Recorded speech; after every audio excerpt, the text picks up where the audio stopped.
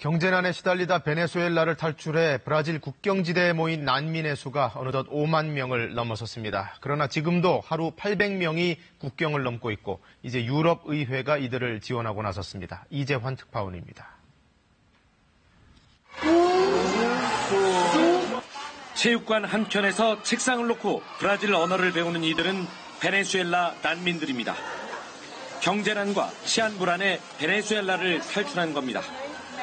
De não saber nem pedir um alimento, nem um trabalho, nem como se locomover, endereço, não saber nada. 브라질 접경 도시에 머물고 있는 베네수엘라 난민은 5만여 명. 유엔은 혼란을 피해 하루 평균 800명의 베네수엘라 난민이 브라질 국경을 넘고 있다고 밝혔습니다.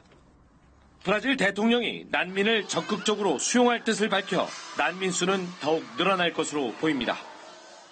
Como a gente está vendo, o fluxo vem, vem aumentando, né? E eles estão vindo com, a intenção de permanecer, a grande ampla maioria de intenção de permanecer. 유럽의회 의원 대표단은 오는 29일까지 브라질과 콜롬비아의 베네수엘라 접경 지역을 방문해 인도적 지원 현황을 평가하고 65억 원을 지원할 예정입니다. 베네수엘라 난민 사태와 관련해 국제사회 지원이 이루어지는 것은 처음입니다. 펜스 미국 부통령도 내일과 모레 북부 지역 베네수엘라 난민 시설을 둘러볼 예정입니다. 상파울에서 KBS 뉴스 이재환입니다.